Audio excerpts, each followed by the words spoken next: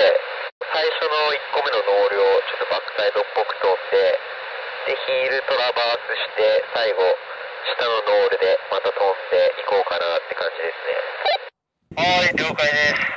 ちょっと下の方着地になってるかもしれないんで、気をつけてください。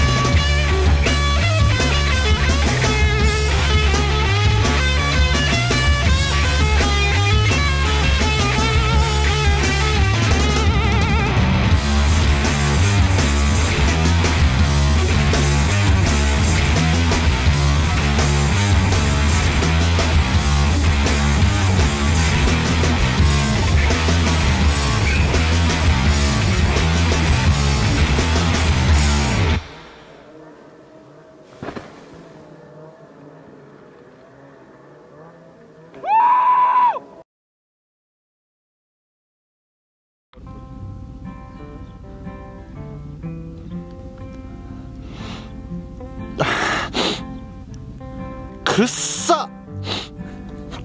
くせ。いいんだけどめっちゃくせ。